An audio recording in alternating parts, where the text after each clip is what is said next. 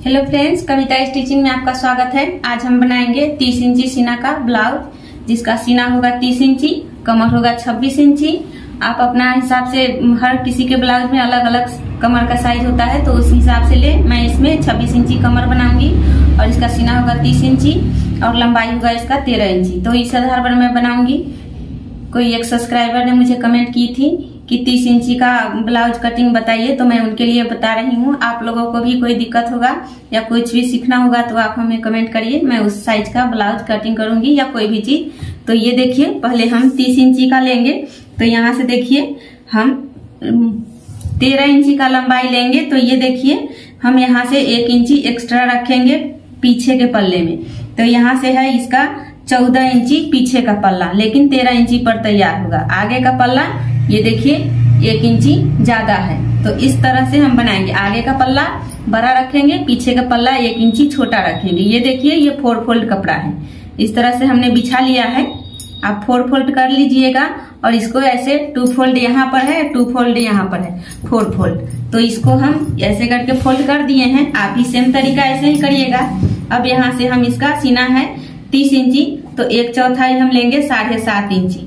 साढ़े सात इंची आगे का होगा तो साढ़े सात इंची पीछे का होगा।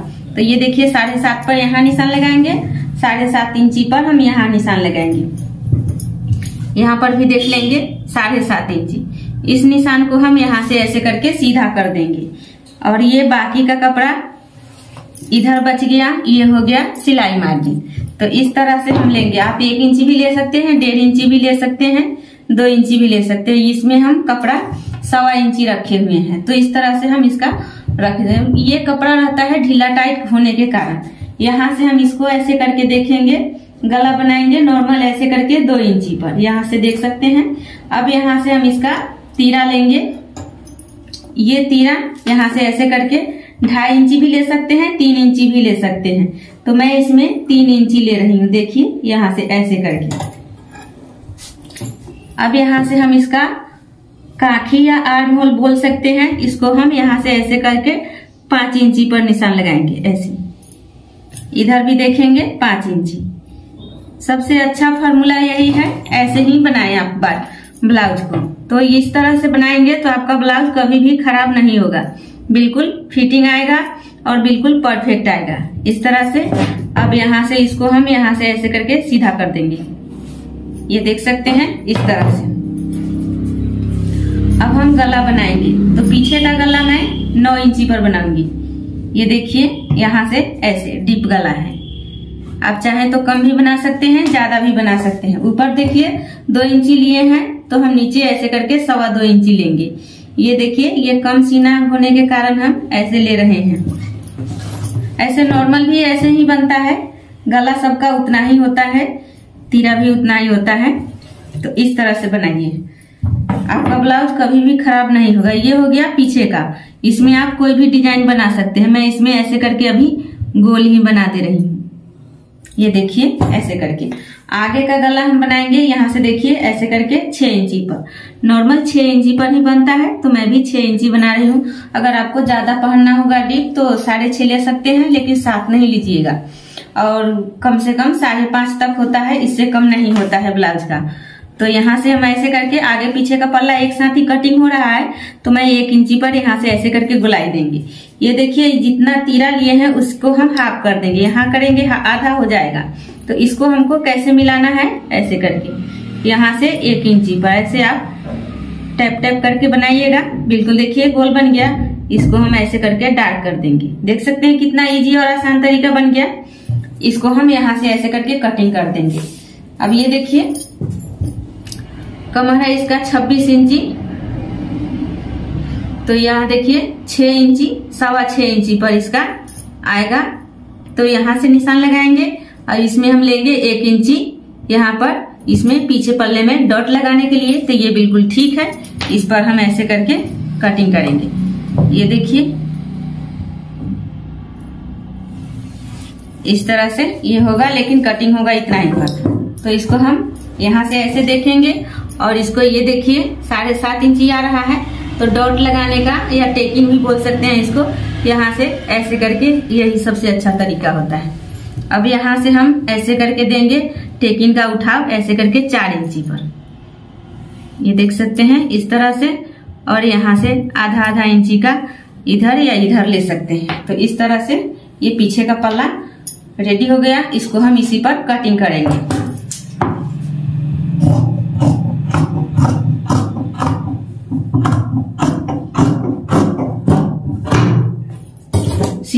होगा तो इसका आर्म होल भी कम होगा। अगर ज़्यादा आदमी, ज़्यादा अगर कोई हेल्दी आदमी है तो इसका सीना बढ़ेगा तो ये आर्म होल भी अपने आप बढ़ेगा। इतना लंबा होगा तो ये हो जाएगा। कभी भी आप ब्लाउज बनाएँ तो आप पाँच इंची ही ले। बाजू का आर्म होल नहीं तो ज़्यादा लीजिएगा तो यहाँ से झूल, झोल वगैरह हो जाता है तो ये बहुत दिक्कत होता है। बाजू फिटिंग करने में भी सही नहीं होता है। तो जब भी ले, आप पाँच इंची ले। अगर किसी किसी का बाजू अगर मोटा रहता है जैसे कि काखी तो उनके लिए आप सवा पाँच इंची ले सकते हैं। नहीं तो नॉर्मल पाँच इंची ही लीजिएगा। देखिए, वैसे मैं आगे का गला कटिंग कर रही हूँ। दोनों पल्ले में अभी आगे पीछे गोल की कटिंग हो रहा है। तो देखिए, इस तरह से ऐसे कटिंग करेंगे। और ये देखिए, पीछे का पल्ला उठाएँगे और यहाँ से थोड़ा सा डाउन करके नीचे कमर में ले जाएँगे। इतना ही देना है, इससे ज़्यादा नहीं देना है। ये देख सकते हैं। अब यहाँ से हम आगे पीछे का पल्ला अलग कर देंगे। देखिए कितना इजी और आसान तरीका हो गया। ये पीछे का पल्ला कटिंग हो गया। इसको हम यहाँ से ऐसे एक कट कर देंगे ताकि जब हम खोले तो ये आगे पीछे दोनों पल्ला में देखिए सेम तरीका से टेकिन का निशान लग चुका है। तो इसको हम साइड करेंगे। अब हम आगे के पल्ले में टेकिन वगैरह कैसे देते हैं वो देखेंगे। तो ये देखिए, इसको हम यहाँ से ऐसे करेंगे और इसको हम सीधा कर देंगे पहले। इसमें हम आधा इंची का और छटैया करेंगे। यहाँ से इसको, यहाँ से ऐसे और यहाँ से ऐसे। अब इसमें हम यहाँ से आधा इंची और कटिंग करेंगे। देख सकते हैं इस तरह से। इसको छटैया करने से ब्लाउज का फिटिंग बहुत अच्छा आता है आगे से। पीछे में नहीं देना है, सिर्फ़ आगे में ही देना है। कोई कोई होता है कि नहीं देते हैं तो उनका ब्लाउज यहाँ पर फूल जाता है। आगे में ज़्यादा कपड़ा होने के कारण फूल जाता है। अब यहाँ से हम लेंगे ऐसे करके, यहाँ से तीरा के बीचों बीच देख सकते हैं, यहाँ से ऐसे करके साढ़े नौ इंची यहाँ पर निशान लगाएँगे। आप चाहे तो चूड़ी से भी निशान लगा सकते हैं। तो चूड़ी को कैसे रखना है बीच में, वो मैं आपको बताती हूँ। ये देखिए, इस तरह से चूड़ी लेना है। देख लीजिए, नौ इंची पर बीचों बीच निशान है, इसको हमको यहाँ से लेना है। और इसको हम यहाँ से ऐसे निशान लगाएँगे।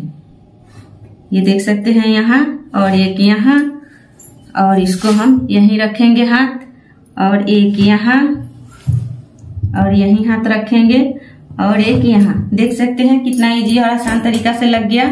तो इसी तरह से हमको टेकिंग का निशान लगाना है।